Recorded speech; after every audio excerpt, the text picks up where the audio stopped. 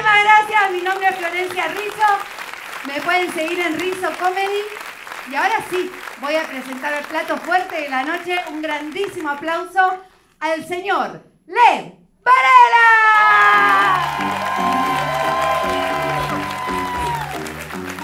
Buenas noches, ¿cómo están? Gracias por venir, qué maravilla. Por favor, un aplauso para Saúl y para Florencia. Fuerte. Ah, ¿qué tal? ¿Cómo la están pasando? ¿Quién es el que lava los platos a mano? Tú. ¿Pero por qué? ¿Tienes lavaplatos? Ah, no tienes, ya. Es una cuestión económica, ok. ¿Cómo está usted, caballero? ¿Cuál es su nombre? Gerson, Gerson. ¿A qué te dedicas, Gerson? abogado. Abogado. Oye, no tienes nada pinta de abogado. Estoy de vacaciones, yo vengo de El Salvador. Ah, eres un abogado del Salvador y estás en short, dijiste, ya se acabó. ¿Tú estás en corbata todo el tiempo? Todo el tiempo. Todo el tiempo, claro, qué tormento. Estás gozando en short. Sí. ¿Y qué? Le manda un mensaje, Gerson, tengo un problema, no puedo ahorita, estoy de vacaciones en Miami. Estoy preso, Gerson. Mira, eh, ¿qué tipo de abogado eres? Corporativo para una empresa aquí en Florida. Corporativo para una empresa, ok. ¿Y qué tipo de cosas hace un abogado corporativo? Eh, crédito, básicamente. Créditos. Créditos para capital de trabajo. ¿Pides créditos? No, yo doy créditos. Tú das créditos, pero eres abogado. Si yo los apruebo. Tú los apruebas, ah, tú revisas los como los... re- Ok, ¿y eso lo tiene que hacer un abogado? Sí. ¿O es un trabajo que tú conseguiste? No, no, no, no tiene que ser. Y que no, yo trabajo en, ¿sabes? Pollo tropical. Bueno, ahí necesitaba un empleado. Yo dije que era abogado, me dijeron que no había problema, que igual yo me podía encargar del pollo. ¿Cómo está usted, caballero? Bien, bien. ¿Cuál es su nombre? Daniel, Daniel, ¿a qué te dedicas, Daniel? aquí eh, reparto pizza. Repartes pizza, ok. Porque dijiste aquí, en otro país haces otra cosa. No, yo soy presidente de El Salvador, ¿sabes? Bukele. ¡Ah! ¿De dónde eres tú, disculpa? Venezuela. De Venezuela. ¿Por qué dudas tanto cuando vas a contestar? Me sido preguntas fáciles. ¿Que tu edad? 20. ¿Qué edad tienes? 27. 27, claro, te dio tiempo a pensarla. Mira, eh, ¿cuánto tiempo tienes aquí en Miami? Pues Miami no, eh, en general en Florida. En Florida, oye, la conversación es difícil contigo. Para los que te contrataron y que, pero aquí vas a entregar las pizzas.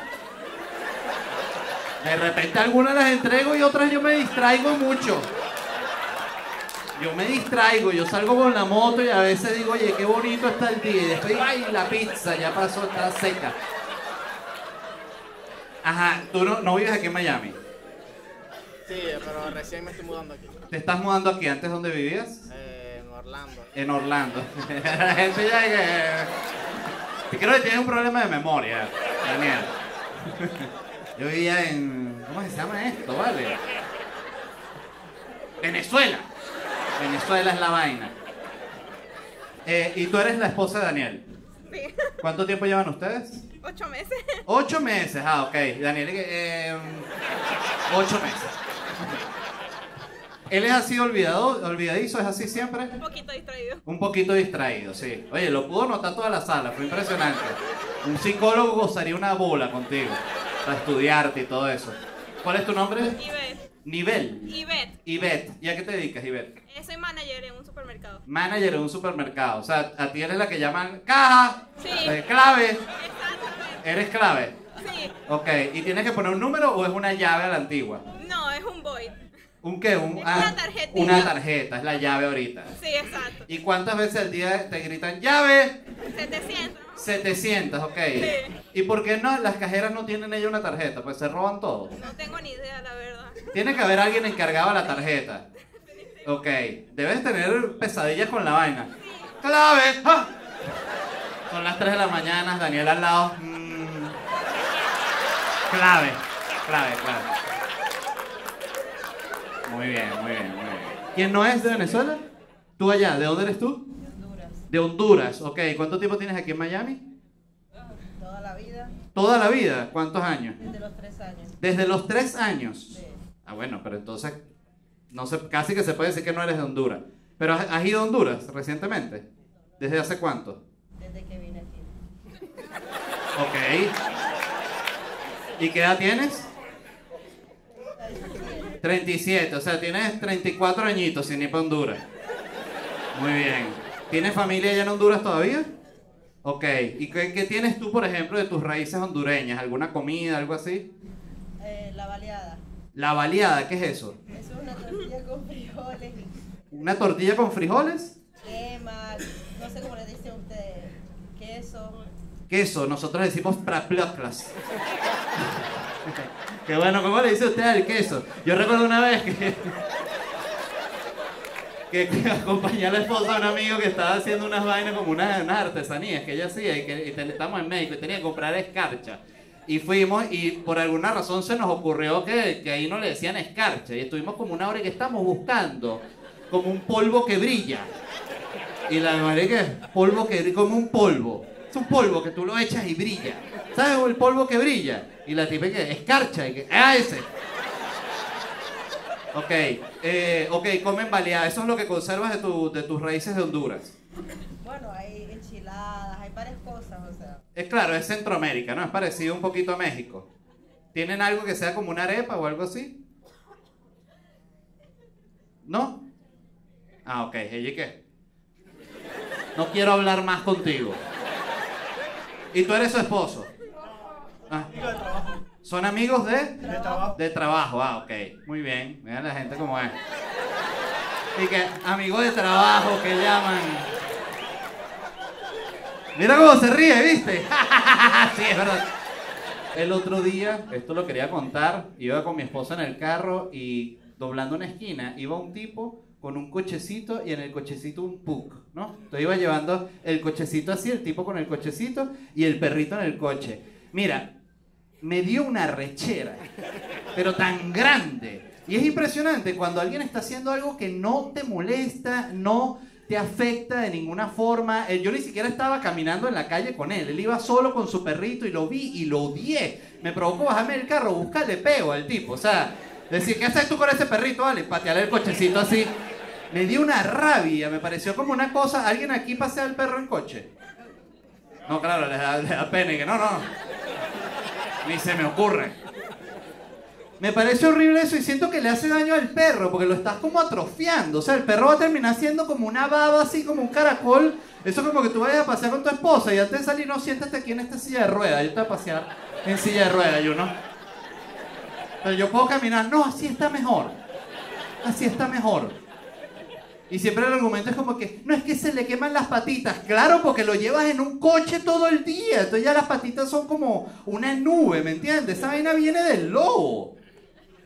Me da mucha rechera. Igual que la gente que lleva el gato en una mochila, como con una burbuja. Que no, yo me llevo mi gato al coworking. Mi gato vacila y cuando vas a ver atrás el gato en la burbuja. ¿y qué? Y me arrecha demasiado los gatos esos en las burbujas, de verdad me molesta porque, de nuevo, el punto al que iba, cualquiera que haya tenido un gato sabe que nada le da más arrechera a un gato que que tú lo tengas atrapado. O sea, el gato, tú lo abrazas así, el gato ya está como que suéltame, marico, por favor. Yo no soy un bebé. ¿Sabes? Y toda esa gente que está como en ese plan de mi perrito es como mi hijo. No, tu perrito no es como tu hijo. O sea, de verdad. O sea, y por dos razones. Primero, porque si te agarraran y te ponen un revólver en la cabeza y te dicen, mira, ¿es tu vida o la de tu perrito? Tú dices, yo mismo mato al perrito. Ni lo piensas. En cambio, con tu bebé, si a mí me ponen un revólver en la cabeza y me dicen tu vida o la de tu bebé, que está ahí mi bebé, yo ahí sí me la pienso. Que sé, coño, la bebé. Coño de la madre, vale. Lo peor es que tendría que dar la vida, pero no tanto por salvar a la bebé, sino para no vivir con la, la juzgada de la gente que, verga, este marico no dio la vida por la bebé. Bueno, usted no está en esa situación. Pero sí, la gente dice, mi perrito es como mi hijo. No es. O sea, y mira, otra razón, segunda razón. En 20 años, mi hija me va a estar mandando una transferencia. Tu perrito en 20 años va a tener 12 años muerto. O sea, entonces, no es como tu hijo. Pero bueno, volviendo a los perritos, ¿no? Me dio mucha rechera el tipo con el, con el perrito en el coche, me, me, me dio rabia. Además, hace poco vi que tú puedes entrenar un águila. Yo no sabía, yo pensaba que esas águilas, que la gente sabe esa gente que tiene como un guante de cuero Y tiene un águila que, además, esa es una gente como de la edad media, ¿no? O sea, porque si tú tienes un águila y un peo, o sea, solo te falta nada para el arco así, caballos, todo ese peo, ¿no? Y estuve leyendo sobre el tema, ¿no? Porque dije, coño, qué arrecho que estos animales, ¿no? Si tú puedes entrenar una aguililla y mandar al águila a que te traiga una codorniz para tú comer. O sea, imagínate, está este tipo que lleva el perrito en el coche y por otro lado tú puedes tener un águila que, ¡ah! El águila, ¡ah! Y vuela así. ¿Sabes? Los, los cielos por ti, caza una codorniz, la mata, te la trae y que tome maestro. Y el águila te hace así, ¿sabes? Y uno que águila, eres grande, ¿sabes? ¡Ah! Se va, coño, fantástico. Qué arrecho, ¿no? Que la gente pudiendo tener un águila tiene el puque ese de mierda que lo manda y que anda a buscar algo y lo que regresa con moquillo. Qué arrechera, vale. El otro día en mi balcón se paró un samuro, fue como todo un suceso. Estábamos mi esposo y yo, siempre con la bebé y tal. Y de repente volteamos al balcón y había un samuro, pero demasiado grande, un buitre, ¿no? Para tú que eres de Honduras, un samuro es como nosotros le decimos el buitre. Que por cierto, mucha gente pensaba que el samuro era como una vaina de Venezuela nada más. Y que, ¡ay, hay samuros en Miami! Sí, pues les aprueban el parol. Eh, de hecho, está la visa de Samuro, o sea, se las dan casi automático. En tres meses tiene permiso de trabajo, pa. Entonces está el Samuro, ¿no? Entonces nosotros, mierda, mira el Samuro y vaina. Este, yo hasta busqué la cámara con la que grabo el podcast, que es una cámara profesional, le tomé unas fotos al Samuro incoherentísimo, el Samuro viéndome yo. Y que bueno, aquí están unas fotos en 4K, ¿no? Por si algún día necesito una foto de un Samuro en 4K, la voy a usar para un póster o que sea. Entonces les tomé las fotos y tal, y el Samuro estaba ahí, nosotros encantados con el Samuro, la verdad, ¿no? Pues siempre uno quiere como que esas aves que uno ve que se paren ahí en el balcón, ¿no? Como para tener un animal o que sea un momento, ¿no? Y de repente me dice mi esposa y que, coño, ¿sabes qué? Dejé afuera el pollo descongelando. Y yo digo, mierda, claro, por eso está el samuro, ¿no? Y salgo al balcón y el pollo que estaba inicialmente en, la, en un banco que está ahí en la mesa del balcón, estaba ya en el piso. O sea, que sabe que ya el samuro había intentado comer el pollo, pero claro, estaba en un paquete de Costco que es coño de madre, ¿no? Antisamuro. Entonces yo vi el paquete en el piso y pensé, bueno, el samuro no se pudo comer el pollo, no pasa nada, todavía estaba un poquito congelado y lo dejé ahí, ¿no? Y me metí otra vez, ¿no? Qué tarado. Y ahí cuando voy a ver de nuevo, está el samuro ya comiéndose el pollo chimbo, o sea, tenía la pata así sobre el pollo, la pechuga y le está, está así despellejando todo, gozando una bola. Imagínate lo que es para un animal de eso, un pollo empaquetado hacia un concepto y que, verga, que hay tan arrecha los humanos, de verdad. O sea, yo estaba volando siete horas y este dicho tiene un ojo de empaquetado, lo compran en una vaina, marico, con una cosa así, meten y les dan el pollo. El samuro, ¿cómo me saco una tarjeta de esa? Bueno. Total que yo veo el pollo y digo, coño, se está comiendo el pollo. Mi esposa me dice, se está comiendo el pollo. Y yo, no joda, coño. Bueno, nos cagamos de la risa. Dijimos, qué loco que se comió el pollo. Y yo le digo, bueno, nada, voy a sacar a descongelar otra vaina, voy a botar ese pollo. Porque lo peor es que yo le dije, no, pero se comió solo la mitad del pollo.